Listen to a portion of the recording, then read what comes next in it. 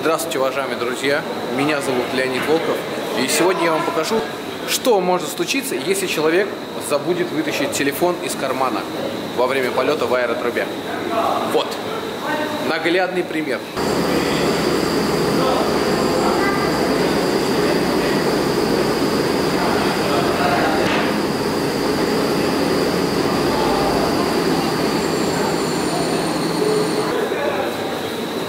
Поэтому, пожалуйста, вытаскивайте все из карманов.